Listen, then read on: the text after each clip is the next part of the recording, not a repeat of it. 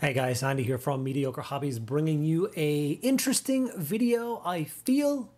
Games Workshop very kindly sent me out the beautiful new Strike Force Agastus box set to review and make videos for you guys. So first off, a huge thank you to Games Workshop for sending that out.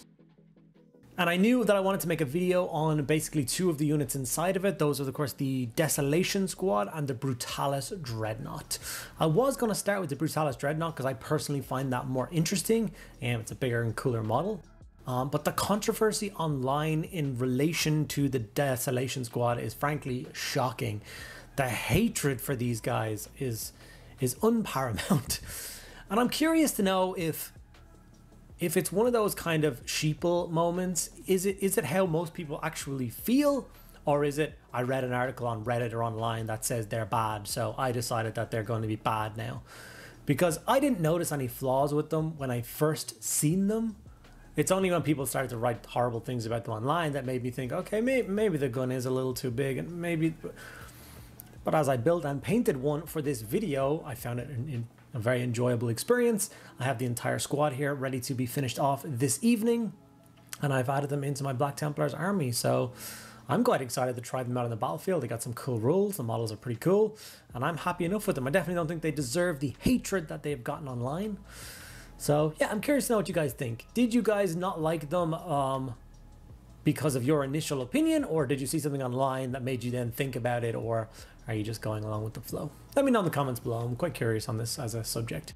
Before we get into the video, I just want to say a huge thank you to all of my active patrons. Without you guys, I wouldn't be able to keep the lights on and the cameras rolling. So a huge thank you to all of you guys. If you're interested in joining my Patreon, don't forget some of the cool benefits to doing so are a private Discord server where you can talk to me and hang out with me on a daily basis, talk about your hobby, get some tips and tricks there.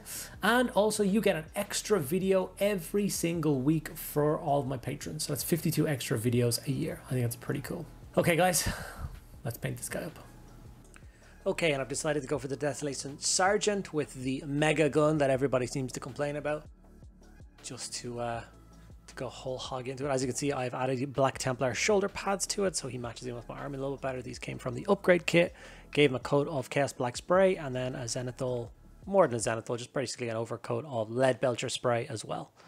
After that, we jump over to Black Templar, and we're going to apply this all over the armor of the miniature. If you've watched any of my Black Templar videos before, you will be well aware of this technique. It works a treat and it has allowed me to get a good kind of 1800 points of Black Templars painted up in really no time at all. And I think they're uh, to a quite a nice standard. So I'm excited to add this Desolation Squad to that force and to continue making uh, more Templars. So here it is with the Black Templar applied. As you can see, it's a nice solid coat. Great starting point for the armor. After that, we're going to jump over to Lead Belcher and give the model a very light dry brush. This kind of ties into that same kind of slap chop method um, except we're adding in the white dry brush now, except I'm using silver.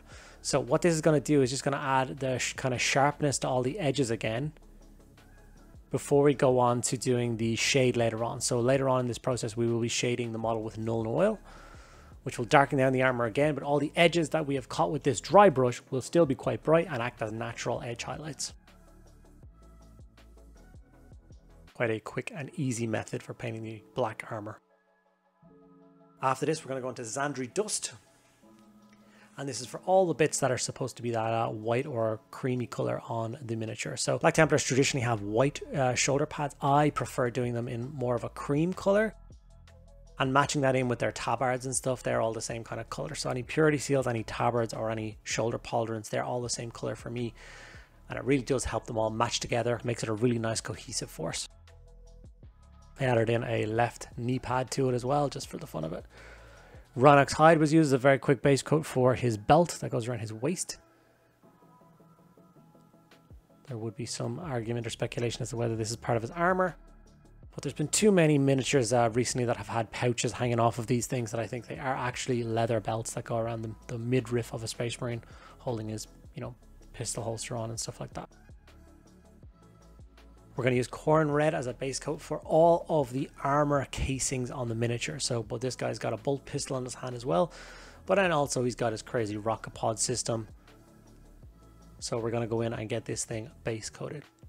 You can go as much or as little uh, casing work as you want on this. I actually went a little bit less than their recommended. The underslung pod I left mostly silver, but I did do the main body casing, the grip, and the, the large rocket casing in red. This really does help to add a, a nice sprit of color into the miniature as it is mostly dark colors with the silvers and blacks. So having this red added in really does add a lot to the model.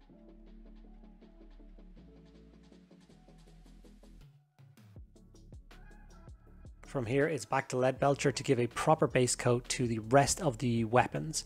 So you can see the handles, the trigger guards, you know, the clips, basically the rest of the pistol that isn't red, and the same thing for the rocket.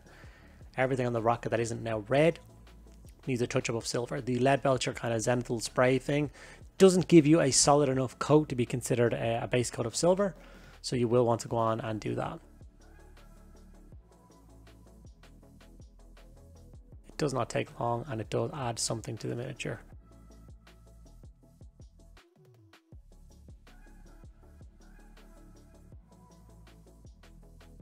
From here, we are going to go on to uh, some of the other metallics that we need to do. So mainly that's going to be gold. So Retributor Armor Gold was in, and it's going to be brought in for all the kind of ornamentation. So the uh, winged Aquila across his chest is going to go gold. And then his shoulder pauldrons are actually a little bit fancier than normal ones. They have an extra metallic detail on the top, and I decided to do those in gold as well, just to help signify this guy as the sergeant. I should have probably done the skull in the center of the head of his helmet, but I forgot if I'm being brutally honest. I might go back and do that again another time, but that's fine.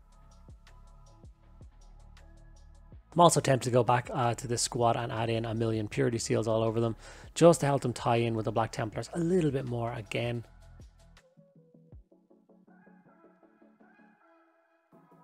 Okay, and with all the base coats now applied, it's time for the all over shade, and for that we're going to use Nuln Oil and apply this to absolutely every part of the miniature quick and easy steps, to tie everything together. It's going to add another layer to that armor and it really does add something to the entire piece. Uh, I applied some Martian Iron Crust to the base uh, while the shade was on. Didn't have time to fully dry before I went on to the layering stage, so we'll have to finish it up later on in the video. Ushabti Bone was then used to uh, layer up all of those bits we started with the uh, tan color in the base coats, that's Zandri Dust obviously his knee pad and all of his shoulder pads. You'll notice the crosses in the center of his shoulder pads aren't painted at all yet. That's because if they were painted, doing this stage is an absolute nightmare. Like it takes so much time. Whereas if you don't paint the cross, it means layering up that cream color in the shoulder pads is so much easier. And then you just go back in after the fact and paint the crosses black again. My first squad of Crusaders, I did it the opposite way around and I painted around the crosses and it was a nightmare. Leadbelcher was brought back in to relayer up uh, those details on the guns again. Just add a little bit of color back into them. A little bit of a sheen. And we're also going to use this to highlight the gold. So those like little dab highlights on all the sharp points. It's a very quick step. And it helps to get all the metallics on the model layered up in one quick step. I went onto a pure white, so whatever your favorite white is, and I painted in all of the lenses on this miniature. Now normally that's not a lot, but on this guy it's quite a lot. The targeting system on his back has like four of them. There's two different on the uh, gun itself. And then of course the miniature's eye lenses. So take your time and get all of these done with a nice base coat of white.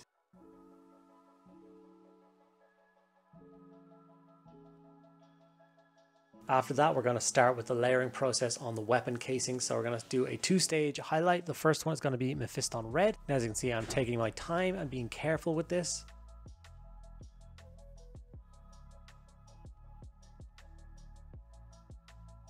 I really want this to look quite sharp and quite clean because as these guns are large, they will be seriously focal points of this miniature. It's uh, what people will be seeing when they look at the model on the table. So spending a little bit of extra time on the, the guns themselves will help the final result of these miniatures quite a lot. So that's why I'm going to go for not one but two stages of highlight on this gun. I'm now going to jump up to Evil Sunz Scarlet and do another coat again. This one's going to be a little bit lighter, a little bit less, but nevertheless it will add an extra uh, pop of color to the model.